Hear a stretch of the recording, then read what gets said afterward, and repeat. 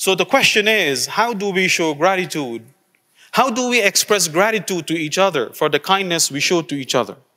The, the very least and the bare minimum is to say thank you to the person. That's the minimum. There is nothing less than this. Anything less than this, you're not showing gratitude to the person.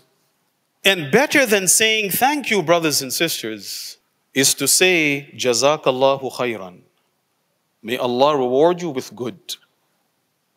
In another hadith in Sunan al-Tirmidhi that is graded Hassan, the Prophet alayhi salatu wasalam said, من صنع إليه معروف فقال لفاعله جزاك الله خيرا فقد أبلغ في الثناء Whoever has something good done for him or her and says to the doer, Jazakallahu khairan, may Allah reward you with good has indeed shown appreciation, has expressed gratitude in the most eloquent way. فَقَدْ أَبْلَغَ فِي الثَّنَى So let us learn this phrase, brothers and sisters, Jazakallahu khairan. I know many of you know it. Let it be our go-to phrase.